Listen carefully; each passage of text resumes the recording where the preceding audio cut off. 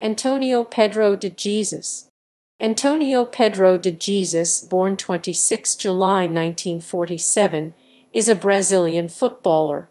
He competed in the men's tournament at the 1968 Summer Olympics. Equals equals References equals equals.